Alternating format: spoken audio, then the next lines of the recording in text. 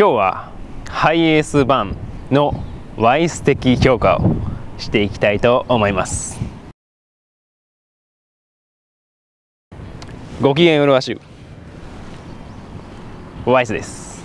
今回は特別編ということで私ワイスがこのハイエース版をレビューしていきたいと思います。こうなった理由といたしましては私ワイス自身が購入検討していたモデルだからです。というのも車中泊であったり荷室の大きさこういったところが購入を検討していた理由です。ですので今回は主には車中泊そしてファミリーカーとして使えるのかこの2点を重視したレビューをしたいと思います。グレードは様々あります。ハイエース1ハイエースワゴンと大きくは分かれておりますがさらに商用利用ファミリーカーに向けたもの様々ございますので調べてみてください。今回紹介するモデルはハイエース版スーパー GL 特別仕様車のダークプライムといったモデルになります。このモデルは内装を黒基調としたモデルになっておりファミリーユースでも使いやすくなっております。ディーゼルモデルとなっております。フロントを見ていきます。とても凛々しい顔立ちをしており頑張るお父さんに向けてぴったりなデザインかと思います。迫力もどこかありハイエースだと言わんばかりの顔をしております。まあ舐められるといったことがないようなフロントデザインになっております。ちなみにこのフロントグリルのメッキの形においてモデルが分かれております。サイド見ていきます。いやー大きいですね。やはりハイエースだとといったような横幅になっております。プレスラインつながっておりスライドドアの切り込みと一色単にすることによってまたデザイン性も美しいですね。急行は助手席の下にありこれは人によってやりづらいと思う方もいらっしゃると思います。リアガラスはとても大きいものとなっており後方視界も十分確保できるのかなと思います。タイヤはですねレンタカー屋さんが取り替えたものとなっております。ですので純正のものではありません。リア見ていきます。こちらもハイエースだぞといったようなリアのビューになっております。リアガラスとても大きいですね。こちらも後方視界バッチリです。テールランプの脇にフィンが取り付いております。リアガの面積が大きいためですね。空気の乱流生まれやすいんですね。ですのでこういったフィンはバッチリ効果があるものとなっております。内装を見ていきます。ダークプライムといった特別仕様さんのため黒基調という風になっております。ダッシュボード上は固めの素材になっております。ドア周りに関しては少し柔らかい素材となっており標準的なハイエースより高級感があります。窓の開閉のボタンの近く。こういったところやハンドル周り。こういったところがですね木目調のようなものが使われておりますのでこちらも高級感がアップしております。シートなんですがふかふかとしております。腰痛が出る方もいらっしゃるかなといった印象があります。ただ私はふかふかが好きですので私には合っております。そしてファミリーカーとしてもふかふかの方がお子様、え奥様方人気がありますのでこれはファミリー向けといった点では良い点です。ライトがあります。個別でつきます。そしてドア連動オフのスイッチがあります。ライトの色が電球色になっております。古い印象を受けてしまいます。ルームミラー。見ていきます。こちらはベゼルが太いですね。こういったところも古い印象を受けてしまいます。デジタルミラーとなっております、まあ、たくさんの荷物を積むハイエースのですのでこういったところは良いポイントです。サンバイザー見ていきます。開けるとちょっとビニールがかかっていてですねどういったものかちょっとわからないですね。助手席も同様にビニールが貼ってあります。こちらはレンタカーですので破るといった真似はしません。ハンドル関係見ていきます。革や木目調が使われておりとても質感高いです。所有感があります。そしてハンドルも大きめですので回しやすいです。そして運転もしやすいものとなっております。クラクション見ていきます。ハイエースだなといった印象のクラクションになっております。ハンドルの調整見ていきます。上下幅は2センチから3センチとなっております。ファミリー車として使うにはもう少しあってもいいのかなと思います。前後幅はありません。ウィンカーです。押し心地良いですね。ワイパーも同様に良いタッチです。送風口を見ていきます。前後の調整そして前平全開もできますが漏れてくるようなものとなっております。スタートスイッチです。こちらに関しましては第2チャンネルにてアンデルの考え方を述べております。私ではありません。アンデルの考え方を述べておりますのでぜひご覧ください。スタートスイッチは右側についております。こちらどことも干渉しないので良いです。またアンデルも納得の場所にあります。また一般的なハイエースはキー式でハンドルの下をえ昔ながらの方式で回すといったものなんですがスタートスイッチによってこのファミリー感があるなといった印象を強く受けます。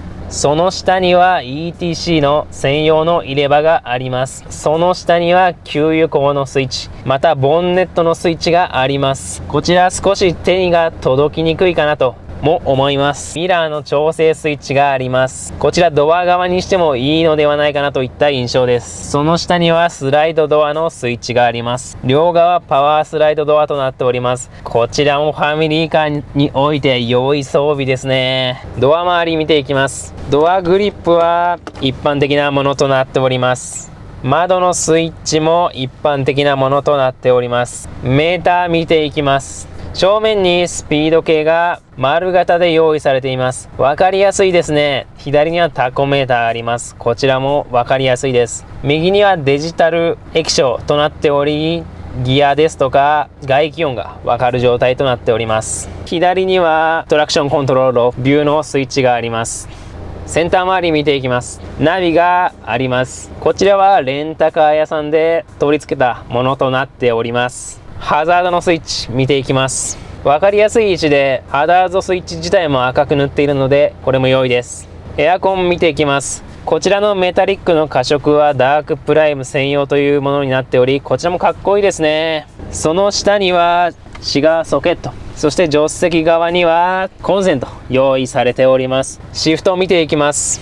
こちらも木目調というものになっており高級感あります。ガタガタガタというゲート式というものになっております。こちら慣れれば使いやすいんですが慣れるまでは難しい。そういった印象を受けます。続いてサイドブレーキ見ていきます。引いて回して下ろすと解除されます。そしてサイドブレーキ使う時は引くというものになっております。私としては使いづらいかなといった印象です。続いて収納を見ていきます。ドア側にはドリンクホルダー1つそして書類が入るトレー用意されております。コンソールボックス用意されております。上にはトレーそして前にも引き出すとテーブルのようなものそしてサイドにもファイルケース後席側にもドリンクホルダー2つ。という風になっておりますこちらもともと人が座る用のスペースなので広大な場所が用意されております。ですのでこういった大きい収納を用意できます。中を開けるとカードホルダーが2つ。横幅拳2.5個程度。長さが3つ程度。深さが1.5個程度あります。できればこういったものの中に USB 端子と用意していただければよかったかなとも思います。ドリンクホルダー2つ用意されております。グローブボックス。これ大きいですね。ファミリー的にもこういったところが大きいと助かります。その下にも収納用意されております。収納は思ったよりは多いかなといった印象があります。助手席を見ていきます。まず乗り込みなんですがこちら車高が高いためで乗り込み性悪いですね。お子様ですとか奥さん乗るとき大変だと思います。また足元空間におきましては広い空間は用意されています。ですがタイヤハウスがあるためにかかと側に足の逃げ場がないため前に放り出す形になります。前にスライドをすると収納に膝が当たってしまいます。この収納いらなかったのではないかなとも思います。助手席のシートもふかふかです。目線に関しましても高い位置か？ら見下ろすのでまるでアトラクションのような気持ちになってお子様気持ちが良いか？もしれません後席を見ていきますまずシートですが後席もふか？ふか？しておりまるで乗用車だなと思わせてくれるようなシートとなっておりますこちら良いですねハイエースとは思えません足元空間ですがこちら後席前後幅2段階調整できますが今後ろの状態としております。足元空間は少し足りないかなといった印象です。前側に突起物がありこちらで足を阻まれてしまいます。頭上空間は拳が2個入ります。十分です。膝前空間は拳では測りきれないぐらいですね。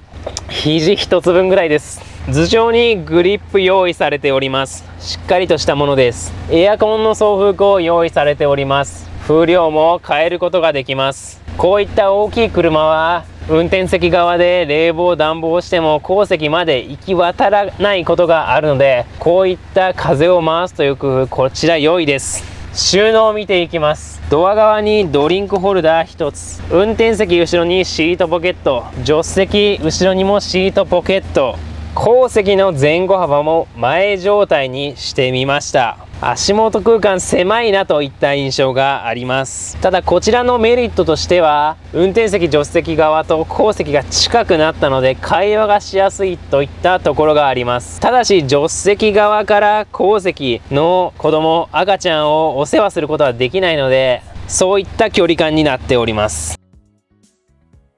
荷室を見ていきます、えー、こちら車体の中央にレバーがありこれ分かりやすいです。はい、開けた高さ高いですね。手が伸ばせるぐらいです。こちらもハイエースならでは良いポイントです。中広いですね。ベビーカーだったらまあ、まあ、10個は余裕かなと。装備は上にライトがついております。車体左側にこちらもコンセント。はい荷室に入りました。あぐらをかいた状態で手を伸ばしてもつかないぐらいこちら良いです。後席は前後幅後ろ側にしております。はい車体と水平で寝てみてもバッチリ寝ることができます。大人2人余裕です。後席と荷室の間ぐらいに大きい照明があります。シートアレンジを紹介していきます。このハイエースシートアレンジ非常に多いです。こちらレビューの中の重要事項ですのでしっかり説明していきます、えー、まずこちら鉱石バタンと倒れ水平になります。やっていきましょう。まずリクライニング角度を水平にします。こちらを押すとバタンと倒れます。こちら水平になっております。こういった工夫が良いですね。この上に荷物を置けます。またこちらを跳ね上げることもできます。2列目後ろにレバーがついておりそちらを引き上げます。そして前に押すだけ。こちらで広大な荷室空間が用意されます。そしてついでなんですが後席を前側と後ろ側を変える方法を紹介します。こちらはこの状態で真ん中にレバーがありますのでこちらを引きます。そうすると前側そして後ろ側こういった形で変えられます、えー、後席バタンとフラットになります。ヘッドレストを外しました。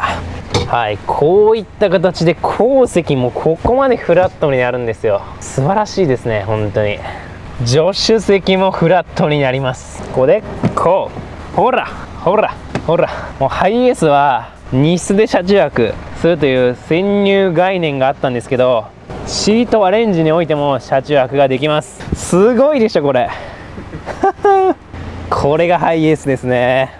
まあご家族で車中泊旅行荷室もいいですがちょっとした休憩の際にこういったシートアレンジが多彩なところ素晴らしいです。走行を見ていきます。こちらに置きましてもファミリーカーとして適正かどうかそういったところを重要視して見ていきます。視野はですねこちら良いです。見晴らしが良くて渋滞の際も飽きない。そういった印象を受けます。またミラーも大きく後方視界も良いので取り回しはしやすいですね。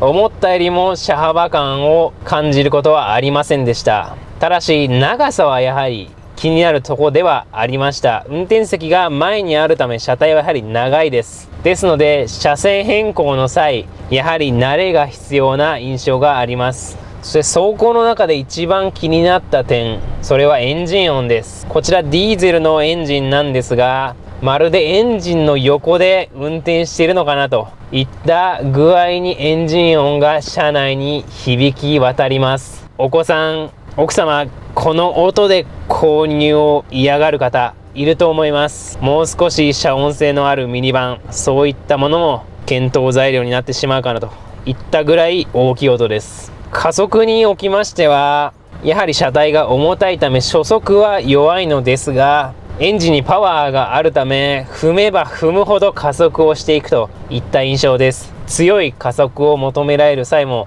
不安がない。ものになっております。ブレーキに関しましてはこちらも重い車体を制御するためしっかりとブレーキが効きます。ですが細かい操作は慣れが必要ですので慣れないとガックンガックンといったようなブレーキになってしまいます。ハンドルにおいては大きいので操作がしやすいです。ですので車体のコントロールがしやすいです。ペダルレイアウトに関しましてはこちら良いです。足をパンと置くと中央にブレーキがあります。こちらアンデルも納得のペダルレイアウトとなっております。やはりこういったバン関係は熱を大きくするためにタイヤハウスを避ける形状なんですがこちらはお尻の下にタイヤハウスがあるためペダル空間に余裕があるためこういった適正なペダル配置となっております。ですがこちらデメリットとしては前から衝突してしまった際のクリアランスゾーンが低いので交通事故に遭った際は不安です。えまとめになります。私ワイスがこのハイエースをファミリーカー車中泊カーとして買うのか買わないのかそちらの答えは買いません。理由といたしましてはいくつかございます。まず一番大きい点はエンジン音です。こちらディーゼル車ですのでガソリン車の方がまだマシなのかもしれませんがまるでエンジンの横で運転しているかのような音が入ってきますのでこちらにおいてお子さん奥様不満に思う方多いと思われます。そして2つ目に関しましてはやはり前のクリアランスボリュームが少ない点です。事故が起きた際に足をなくなってしまう可能性あります。そういった安全性も含めて私は買わないという決断に至りました。良かったポイントとししましてはシートのアレンジ。こちら素晴らしいです。ハイエースは荷室で車中泊をするという固定概念あるかと思いますが今試したシートアレンジにより様々な寝方お昼寝できます。こういった点を含めまして私は買わないという決断をいたしました。それでは皆さん良いカイライフを。